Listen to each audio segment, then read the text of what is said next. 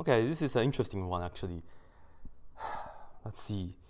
Well, that's the integral. I don't think I want to work with cosecant and secant because I don't think they get along with each other that well in integrals. I know sine cosine, they get along with each other much better in integrals, right? So I'll look at this as 1 over sine to the third power, and this is 1 over cosine, right? So I will just put down 1 over this being sine to the third power x, and then this being cosine x dx, like that. So this is good, but I don't think this is enough to work with. Because if I want to do u sub, then I'm stuck, right? I want to have more things to come up with, and the deal is that I will be utilizing this one.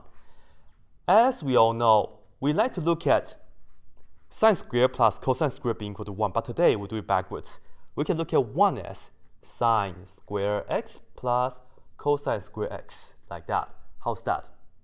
And again, the purpose is I want to have more things to work with. And the denominator is just of one term. And the beauty of doing so is I can do the first term on the top over that on the bottom. So I'll write this down here for you guys. I will get sine square x over this denominator, which is sine cube x cosine x. And then we add cosine square x over sine cube x cosine x like that dx. Okay, this right here is pretty nice because as you can see, we can actually just cancel this and that. So you have one power right here. So that's okay. This right here is actually easier because when you cancel the cosine and cosine, you have sine x in the denominator, and then to a third power right here, right? You can do u sub because you have the cosine x on top to help you out. But the problem is that how can we integrate 1 over sine x times cosine x?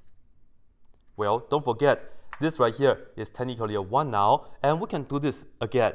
So I will write this down right here for you guys. This is the integral.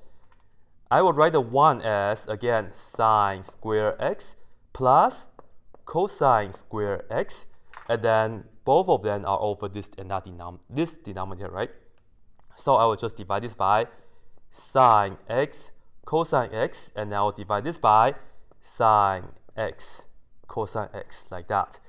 And uh, let's see, I might as well put this down right here together, why not? Cosine x, well, yeah, cosine x over, and this was sine to the third power x, like this.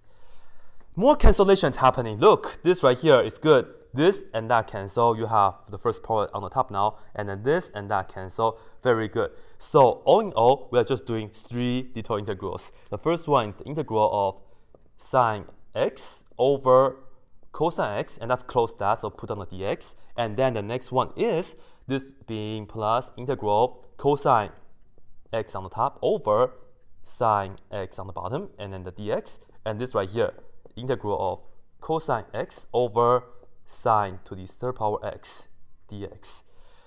All right, so as you guys know, this right here is just tangent, and if you integrate tangent, you get natural log absolute value of secant. So I will just put that down right here for you guys, natural log absolute value of secant x. And this right here is technically cotangent. And of course, you can also do u sub, but either way, that will tell you this is just the natural log absolute value of sine x because if you let u equal to sine x, you get that. So everybody right here is pretty much similar. Lastly, do not have the ln addiction.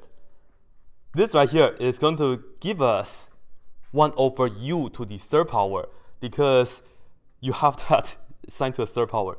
And we cannot do the natural log. Alright, so 1 over u to the third power. In other words, u to the negative 3 plus 1, which is negative 2, divided by that, you end up with negative 1 over 2. And you get u to the negative 2 power, where u is the sine. So I'll just put down the sine in the denominator right here. Okay? Sine to the second power x, like that. And of course, you can also write this down as what? Cosecant. So if you like, you can also write this down as cosecant. Actually, let me just write it like this for now. Sine square x. Okay? And the truth is, you can put this and that together when you have this and that together, of course, you are doing sine times secant. In other words, sine divided by cosine, so the black part will give us natural log absolute value of tangent x. And of course, now I will fix this. This is minus 1 half. I'll put this down as the cosecant. Yeah, you guys can still see cosecant square x. And we are done. So put a plus c somewhere that you can see. So I'll put a plus c right here.